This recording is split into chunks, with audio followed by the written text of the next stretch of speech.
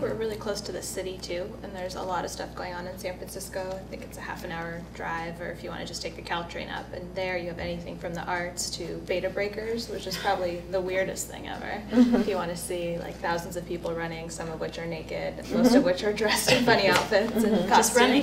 Just Running. running. It's a marathon, Across but it's just running. Lots of naked Uh, people.